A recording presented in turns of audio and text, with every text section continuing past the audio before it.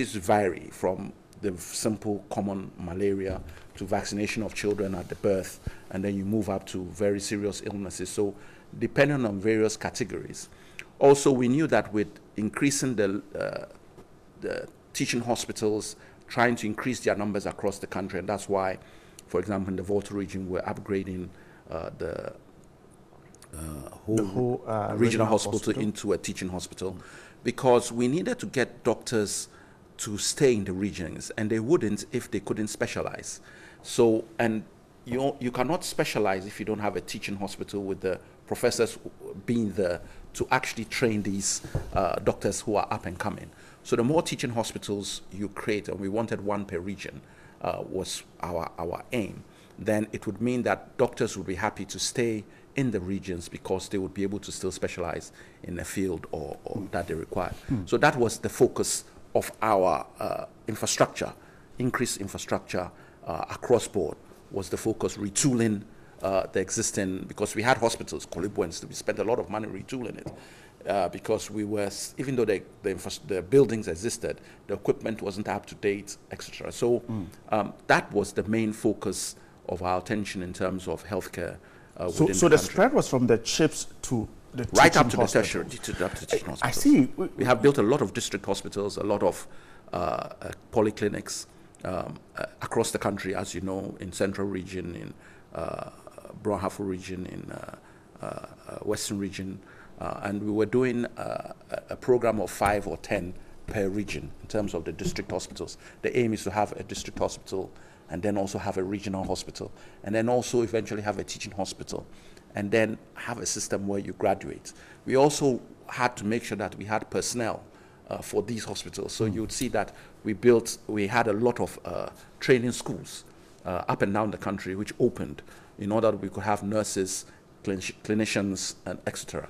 So there was a lot of work done in the health sector right. during the Mills When, when you left office, yes from where you sit and certainly you will be observing, yeah. what have you seen?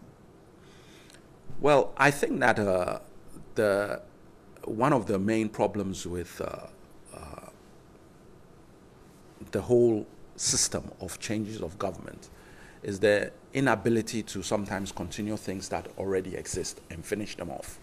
Um, because then politically, it's seen as a credit to your opponent and not to yourself. And so the uh, advancement or the progress of the country is totally uh, uh, slowed or slowed down mm. because of this uh, position uh, that we have in our body politic, if I can put it that way. So people then try to have a different priority or do something different, uh, which does not necessarily help. So and it's affecting the, the, sector. It affects the whole country. Look, if you look from possibly the time of Acheampong to the current government, there was between 300 to 400 million dollars worth of uncompleted medical facilities in this country. Because when the government comes, it stops. When the government comes, it stops. So one of the priorities we will have to look at is that we have to look at all these facilities, and we started in our time, and make a decision which ones do we have to start from scratch because they've been the plan and everything is wrong which ones can we finish and put monies into this regardless of which government started it because they are in areas which we can use it and the biggest one of them all is the, uh, the maternity block mm. in kumasi at the Komfo Anokye, which has been there since the, the period of uh, Acheampong, a huge uh, facility that we've no, you need about maybe 80, 90 million dollars, if not 100. Uh, some say 50, but depending, to actually finish that uh, edifice that stands. So there is a need for us to, as a people, begin to understand that we really have to stop this. Uh, I won't finish your work. I, am looking at something. How do we change it? The politician will well, have to think again? Yes, and uh, you would have hoped that uh, the plan that uh, the uh, GNPC, not GNPC, uh, the group that deals with uh, planning, our National Development Planning Commission, right. would be able to look at one plan, and even though it's for a five, seven year period, the next plan that comes should look and see how far we've gotten with things and make them priorities.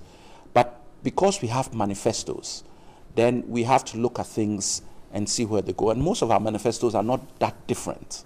Uh, the way we implement things may differ, wow. but the actual uh, policy should be the same. And that is where we tend to, to fall down. But Some would also argue that when, when, when a politician is in a position, then he sees what is wrong. And then you could be talking this way today, that next when you're in power, you could also say, okay, the, the government that I took over, uh, the project that the government was uh, doing, I'm not going to continue. Yes, but it depends on what type of a project. So uh, I don't say that is going to happen. But if you had a situation How where, let me explain. What type of project? If you are building a cathedral and uh, we come into office and we decide that we won't finish the church, we'll rather build, finish the hospital, it makes sense. Because it's not that there's a lack of churches, there is a lack of hospitals. And the two differ. It's not like we don't have, we, we have maybe too many churches. So we are building a cathedral. Fine. I'm not saying that there's, it's a national one, there might be a reason for it. But if somebody decides that I'm not doing that, I'm going to finish a hospital, especially if it's involving government funds, I'm going to use that and continue using private funds to try and do this. Mm, fine. But that kind of a change in priority makes sense. However, it does not necessarily make sense that you will not finish a hospital or a CHPS compound or you delay the process so that in, in effect it doesn't appear to have been something that has been created by your predecessor. So you stall a project for two, three years, and then when you finish, you say, well, I did it. When in actual fact, you've stalled it for two, three years. And most of these things have a financial implication mm. because we take out loans and we pay interest on those loans. There are moratorium periods. And when they pass, you still have to start paying on it. So you're, you're, you're cutting your nose to spite your face. I see. And so, and so certainly you, you're not happy with uh, some of the district hospitals. I mean, they, we, have seen the one at Dodowa Commission, yeah. Kumawu uh, has been abandoned, uh, several others. You're certainly not happy about it. Well, Dodowa, we didn't say it. It was by the African Union uh, WHO uh, wing um, commended Dodowa Hospital as actually uh, a template that should be used across the whole of Africa. Uh, because of the nature of the hospital and the way it was situated and the, the administration. And I would give kudos to the doctor who was in charge of it and who has been running it for a while. He's done extremely well in terms of the administration and the way it works. And the other hospitals that were supposed to have been finished, and I think there were a total of seven, mm. uh, were all going to be under the same type of issue. And we are still waiting.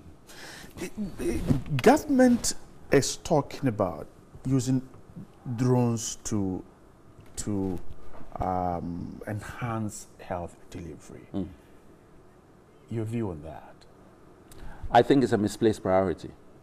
Um, it's not that you can't do it, or it, it's just, it's, and, and the reason they gave, which has to do with blood movement, uh, for me is, is an essential medicines, according to what? Uh, well, the, the bottom line is, uh, do you have the medicines in Korle Bu?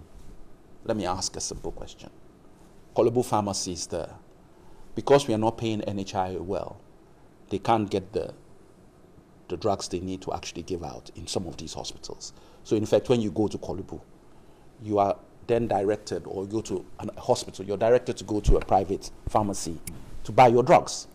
Now, the priority should be how can we get our government pharmacies equipped so that they can dispense NHI drugs which people are entitled to without having to go and pay for it. That is for me more of a priority than a drone. How because if the one that is even next to you you cannot deal with, how do you now then get a drone? If you went to uh, a hospital now, and, and, this is not peculiar to this government, it's been there, mm. and you were involved in an accident or something and you needed blood, you will be asked to bring a relative to replace the, the, the blood you were. So till you, the relative came or a friend came to give blood, you would not be able to get the blood. They tell you that, oh, if it's an emergency, they'll give it to you. It's, the truth is that the reality is that the person must appear and give blood. If not, they will not give you the blood. So if you're putting blood on a drone, question, who at the other end has given blood before they give that blood, put the blood on the drone? Because that's the point. That is the unwritten policy. An unwritten policy. Yeah. yeah. So, if how does a drone solve that problem? You're sending blood to an emergency spot, and in actual fact, they haven't got somebody to give blood already to replace it. The drone will never take off. I mean, how, and this is the reality. How do we reach hard to? How do we get to these hard to reach areas? Well, the point is that you have to put blood banks in the right places, and that should be more of the priority. And but the emphasis now should be uh, uh, spending some of this money on a drive to get people to donate blood voluntarily because we don't have enough blood in the first place. That's why you're asked to give blood, uh, replace the blood before you can take it.